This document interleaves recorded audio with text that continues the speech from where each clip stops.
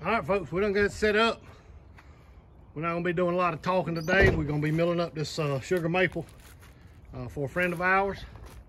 Over there you see my partner, otherwise known as the ramrod. Some people call him my son, but he pushes me like a white mouth mule all the time, so keeping me young. Plates all set up for the big Alaskan mill. Running a big 3120 from Husqvarna on a big Alaska mill uh, we bought from Granburg. This is sugar maple here. We're gonna be cutting today, not a lot of talking, we're just gonna get right down to it. If anybody's interested in how we set up for Alaskan milling, uh, we can do a video on that at another time. Today it's gonna be a lot of sawing, a little bit of talking. Let's get at it.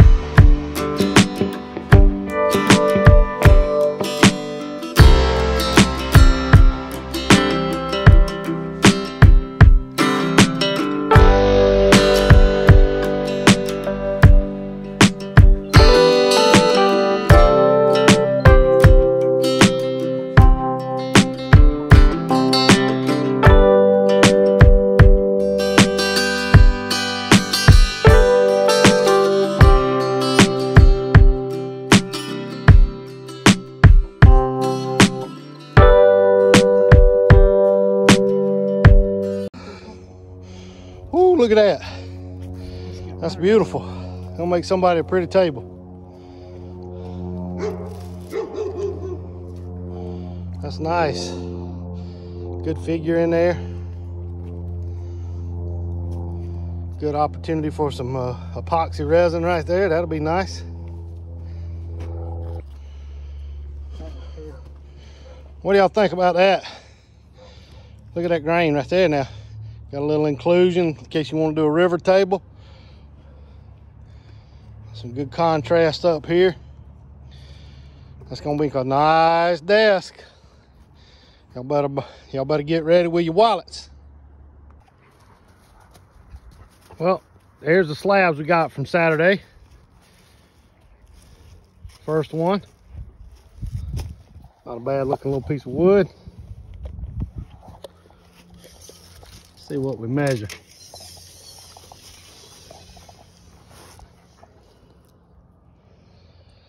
Overall, you got about 93, probably in the wide spot. Uh, just about 21. This piece right here is 30 by 96. But man, look at that red in that board right there. If I was a table maker, that might uh, that might excite me any table makers out there, I'd love to hear what you would do with this piece. It uh, had a wing break off right there. And uh, got some interesting rot that could probably be stabilized on this end. I'd love to hear what people could do with that. There's another piece we got. Interesting little hole. And when we cut that, that was together, but it's since broke off in the transit. So I don't know if uh, maybe a real crafty table maker could bow tie that back together or stabilize it with epoxy, but um, not really sure what I'm gonna do with that. Sell those separate, sell them together, how we're gonna do that. But all these are about two and three quarter inches thick. And this one's uh, about 30 inches wide at the widest, minus that wing right there. Nice pick of wood really cool piece right here. This one's 37 wide by about 96 long. Uh, got some real cool uh, figure in it some compression figures some bark inclusion. It's really got about everything. Uh, interesting thing about this piece is it's about five and three quarters inch thick. We cut it that way because of the uh, undulation in the wood. You can see back here it's a lot thinner. I don't know how that would affect the table maker as I am not one. But uh, that's a really cool piece of wood. I could I could cut that down for the right customer, but uh, who knows? I may end up doing something with it myself. And then, of course, we got these two small pieces. They're about four feet long. Two of those, four feet long at about uh, 14 inches. And uh, the ever present Mauser, trying to make sure he stays uh, popular with the YouTube crowd and that's flat on the other side but I just cut it off because uh, it was part of the it was part of the tree that we had to given to us and uh, customer wanted out of their yard. So I may turn that into firewood. I don't know. Well thanks everybody for sticking around. If you made it to the end of the video. That's the that's the haul for that one uh, for that one half day's work that we had to give with the big Alaskan mill uh, currently getting the 3120 uh, serviced. It's brand new saw and I just want to make sure before I put it back in a long cut that uh, everything's good. Until we see you again, y'all stay safe.